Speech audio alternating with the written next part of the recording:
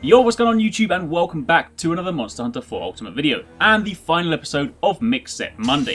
If you guys saw last week's episode, then you know I said that this week was going to be the final episode for a little while. The Monster Hunter Cross demo dropped this week, the full game launches next week, and I'm going to be moving over to cover that very, very soon. So to make this final episode special, I also asked last week for you guys to create some mix sets using the funny masks from the November DLC.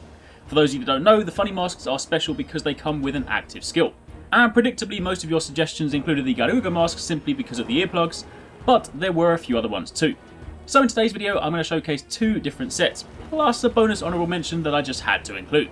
However, on top of that, I obviously do appreciate the fact that not everyone's going to be importing Monster Hunter Cross, so I also want to help those of you still playing Monster Hunter 4 Ultimate by introducing you to a program that'll help you make your own mix sets. I'm sure many of you guys know about this already, but some of you may not. So as the famous phrase goes, give the man a fish and you feed him for a day, teach the man to fish and you feed him for a lifetime, but instead of teaching you guys to fish, I'll teach you guys how to make mix sets. So stick around to the end of the video for that one. But with all that said and done, it's going to be a slightly longer episode, so sit back, relax, and let's get started. And of course, if you guys do enjoy the video, then don't forget to drop a like. So to begin with, this first set recommendation comes from Firebolt Chun, and it uses the Garuga Mask, the Grand Divine Irobi chest and waist, the Kujala grips, and the Morales legs. The recommended talisman for this one is a plus 4 spirit 2 slot, but unfortunately I only have a plus 4 spirit no slot, so in this particular example I compensated with a 2 slot weapon. And with 3 spirit jewel 2s, an earplug jewel 3, and an earplug jewel 1 you will get this. Challenger plus 2, which of course greatly increases your attack and affinity when large monsters become enraged. High grade earplugs to negate the effects of all monster roars.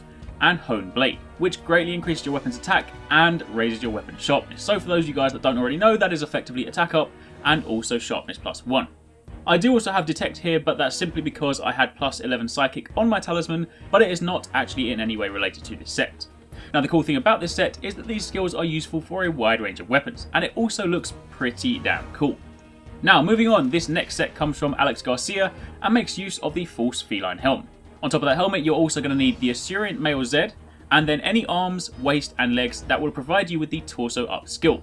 These last three pieces are entirely up to you, provided they all have Torso Up. Annoyingly, I don't actually currently have torso up arms. I would recommend the GX Amatsu arms, but I just didn't have time to grab them before making this video. But as you can see, in this case, I've used the Vangis Coil X and also the Tetsukawa Greaves X. Now, assuming you have all of those armor pieces in place, then you'll also want a plus 6 3 slot status charm. Again, in my case, the best I had was plus 6 no slot, so I threw in a 3 slot weapon to compensate. On the decoration side of things, you're going to want one status gem, which will go in the chest piece, and a plus 5 attack gem, which will go in your 3 slots. All of these together, again with the power of editing because I don't actually have the arms, will give you Attack Up XL, Speed Eating plus 1, Razor Sharp, Bombardier, and Status Attack plus 1. And I've got to say, while it does look a little bit crazy, it's also pretty cool. It looks kind of like something out of Saints Row's Mr. Genki show. And then finally, I know this one was put in the comments as a joke, but it did make me laugh so I just had to include it as an honourable mention. InsomniaMatt set is the Bulldrome Mask, a lance, and some Mega Dash Juice. And then all you have to do, and I quote, is knock around everyone. Thank you very much, Matt. Now, if you guys do want to make any of these sets, then you can find links to them in the description box down below, including Matt's one, yes, that's right. But now I want to turn my attention to the tutorial side of this video. If you guys do want to make mix sets for yourself, then you should download this really awesome program called Athena's Armor Set Search, often abbreviated to Athena's Ass. It's a program that allows you to put in the skills you want, and it will then show you the possible armor combinations. So with that being said, I know for a while you guys have been asking for a dual blade set, so let's make one in this demo.